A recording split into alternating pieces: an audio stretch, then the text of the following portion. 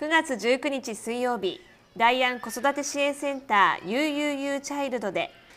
子どもの発達・発育・病気をテーマに小物厚生病院小児科安藤光弘先生によるお話し会が行われ市内外のお母さん18人が参加しました。小児科の医師によるこのお話し会は大安子育て支援センター UUU チャイルドが9年前から毎年開いているもので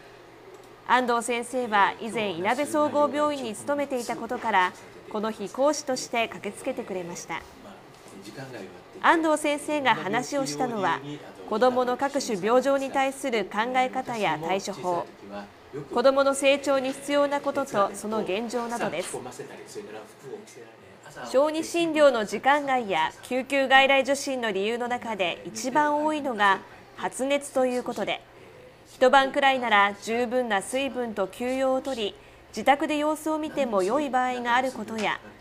腹痛や嘔吐、下痢、咳、泣き止まない場合などの代表的な疾患と考え方についてお母さんたちに伝えていました。